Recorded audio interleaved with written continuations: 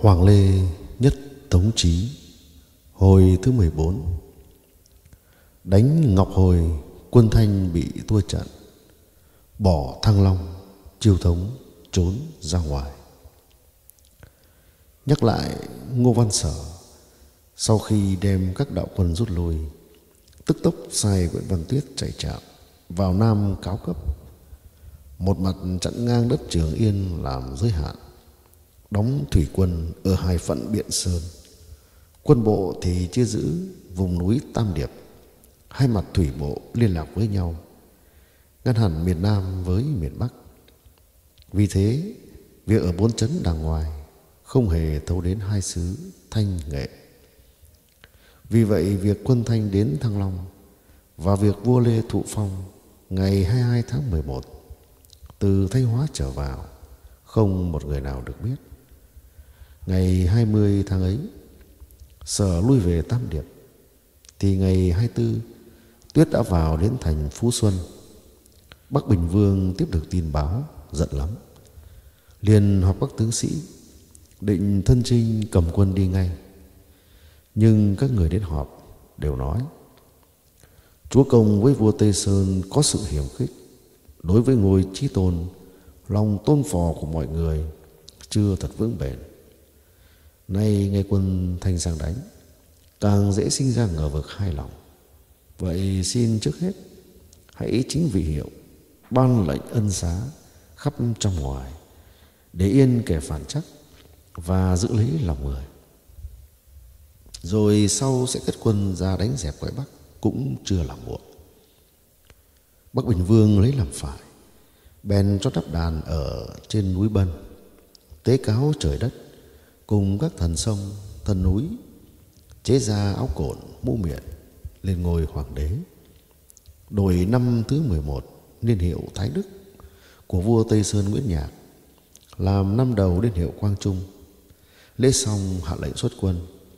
Hôm ấy nhằm vào ngày 25 tháng Chạp năm Mậu Thân 1788. Vua Quang Trung tự mình đốc xuất đại binh, cả thủy lẫn bộ cùng ra đi. Ngày 29 đến Nghệ An, vua Quang Trung cho vời người cống sĩ ở huyện La Sơn là Nguyễn Thiếp vào dinh và hỏi Quân Thanh sang đánh Tôi sắp đem binh ra chống cự Mưu đánh và giữ. Cơ được hay thua Tiên sinh nghĩ như thế nào?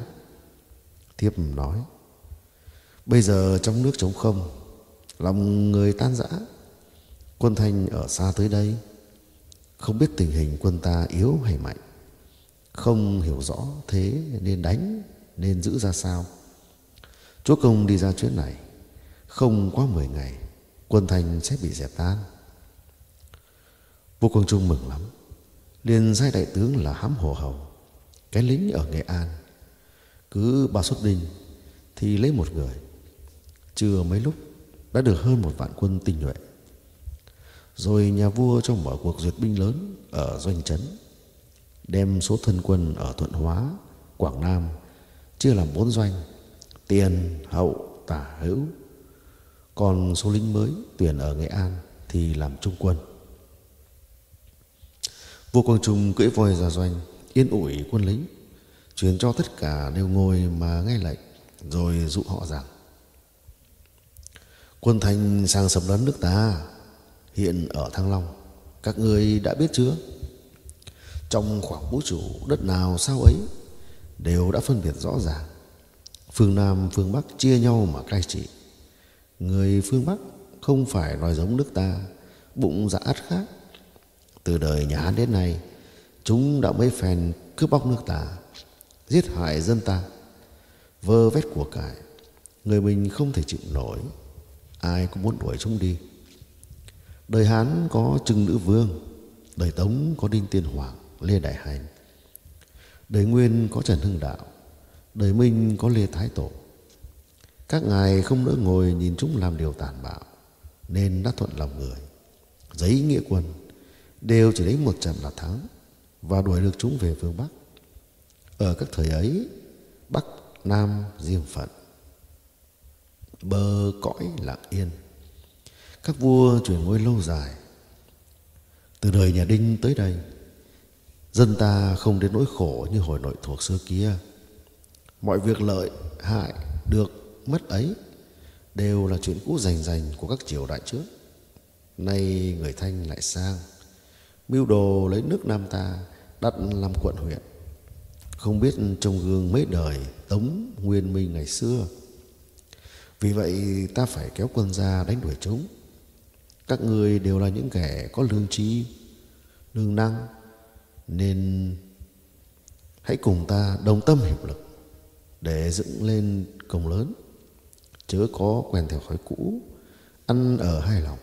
Nếu như việc phát giác ra sẽ bị giết chết ngay tức khắc. Không tha một ai chớ bảo là ta không nói trước. Các quân lính đều nói xin vâng lệnh không dám hài lòng hôm sau vô công trung hạ lệnh tiến quân. Các quân đều nghiêm chỉnh, đội ngũ mà đi. Khi đến núi tam điệp, sở và lân ra đón, đều mang gươm trên lưng mà xin chịu tội. Vua quang trung nói, các người đem thân thờ ta, đã làm đến chức tướng soái. Ta giao cho toàn hạt, cả 11 thừa tuyến lại cho tùy tiện làm việc. Vậy mà giặc đến không đánh nổi một trận mới nghe tiếng đã chạy trước. Binh pháp dạy rằng, quân thua chém tướng. Tội của các ngươi đều đáng chết một vạn lần. Xong, ta nghĩ các ngươi đều là võ dũng. Chỉ biết gặp giặc là đánh. Đến như việc tùy cơ ứng biến thì không có tài. Cho nên ta để ngô thị nhậm ở lại đấy làm việc với các ngươi, chính là lo về việc đó. Bắc hà mới yên, lòng người chưa phục thăng long lại là nơi bị đánh cả bốn mặt. Không có sông núi để nương tựa. Năm trước ta ra đánh đất ấy, chúa trịnh quả nhiên không thể chống nổi. Đó là chứng cứ rõ ràng. Các người đóng quân chơi trọi ở đấy, quân thành kéo sang, người trong kinh kỳ làm nội ứng cho chúng, thì các người làm sao mà cử động được? Các người đã biết nín nhịn, để tránh mũi nhọn của chúng chia ra chặn giữ các nơi hiểm yếu. Bên trong thì kích thích lòng quân, bên ngoài thì làm cho giặc kiêu căng. Kế ấy rất là đúng. Khi mới nghe nói, ta đã đoán là do ngô thì nhập chủ mưu. Sau hỏi văn tuyết thì quả đúng như vậy. Thì nhậm bèn lạy hay lạy, để tạ ơn. Vô công trung lại nói, lần này ta ra, thân hành cầm quân phương lược tiến đánh đã có tính sẵn. Chẳng qua mươi ngày có thể đuổi được người thanh. Nhưng nghĩ chúng là nước lớn gấp mười nước mình. Sau khi bị thua một trận, ắt lấy làm thẹn mà lo mưu báo thù. Như thế thì việc binh đao không bao giờ dứt. Không phải là phúc cho dân nỡ nào mà làm như vậy. Đến lúc ấy, chỉ có người khéo lời lẽ mới dẹp nổi việc binh đao không phải ngô thị nhậm thì không ai làm được. Chờ 10 năm nữa, cho ta được yên ổn mà nuôi dưỡng lực lượng. Bấy giờ nước giàu vượt mạnh, thì ta có sợ gì chúng? Bọn sở lân đều lệ tạ và nói, chú thượng thật là lo xa, chúng tôi ngu dại, không thể nghĩ tới chỗ đó. Hiện nay phương lược tiến đánh ra sao? Xin chú thượng nhất nhất chỉ rõ để chúng tôi tuân theo mà làm vua công trung bèn sai mở tiệc khao quân chia quân sĩ ra làm năm đạo hôm đó là ngày 30 tháng chạp rồi nhà vua bảo kín với các tướng rằng ta với các người hãy sửa sửa lễ cúng Tết trước đã. Đến tối 30 Tết lập tức lên đường. Hẹn đến ngày mùng 7 năm mới thì vào thành Thăng Long mở tiệc ăn mừng. Các người nhớ lấy, đừng cho là ta nói khoác. Cả năm đạo quân đều lạy vâng mệnh. Đúng ngày giống trống lên đường ra Bắc. Khi quân ra đến sông Gián, nghĩa binh trấn thủ ở đó tan vỡ chạy trước. Lúc đến sông Thanh Quyết, toán quân thanh đi do thám. Từ đằng xa trông thấy bóng cũng chạy nốt. Vô Công Trung liền thúc quân đuổi theo. Tới huyện Phú Xuyên thì bắt sống được hết. Không để tên nào chạy thoát. Bởi vậy không hề có ai chạy về báo tin nên những đạo quân thanh đóng ở Hà Hồi và Ngọc Hồi đều không biết gì cả. Nửa đêm ngày 3 tháng Giêng năm kỷ dậu 1789, vua Quang Trung tới làng Hà Hồi, huyện Thượng Phúc, lặng lẽ vây kín làng ấy, rồi bắc loa chuyển gọi, tiếng quân lính luân phiên nhau dạ gian để hưởng ứng, nghe như có hơn vài vạn người.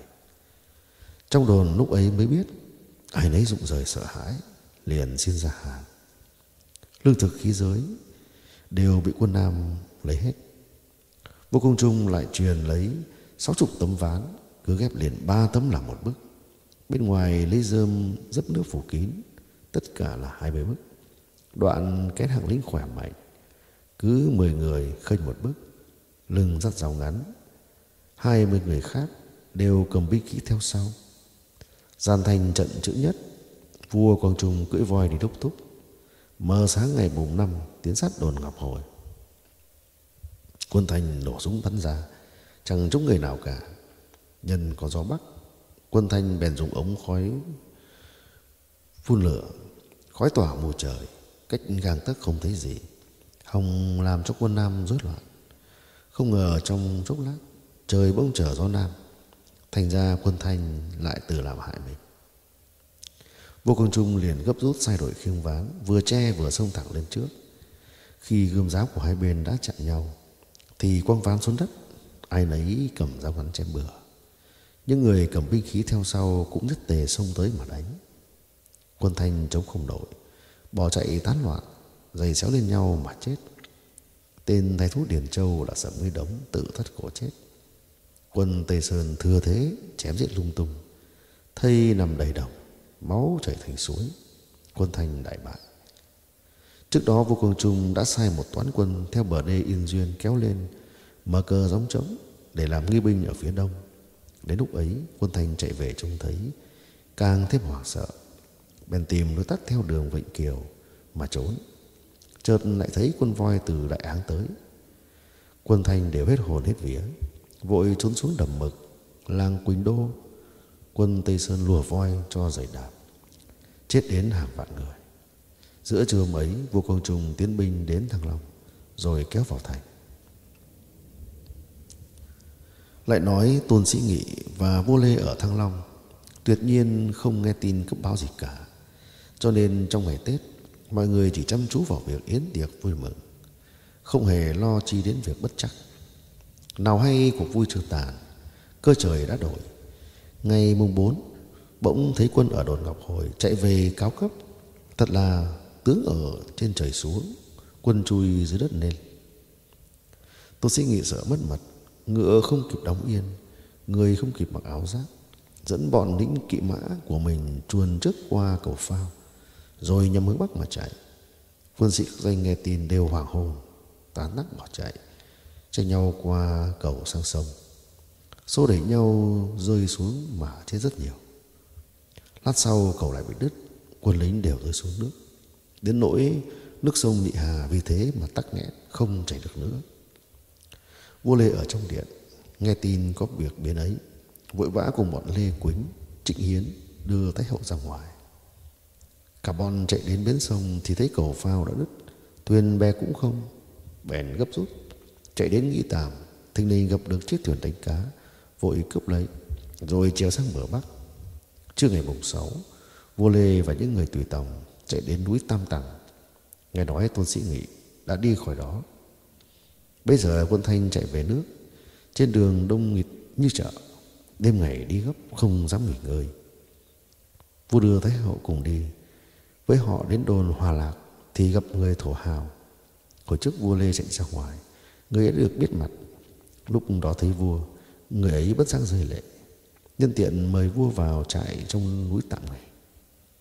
Bấy giờ vua Lê và những người tùy tòng luôn mấy ngày không ăn, ai nấy đều đã mệt lở. Người thủ hào kia liền giết gà làm cơm thiết đãi.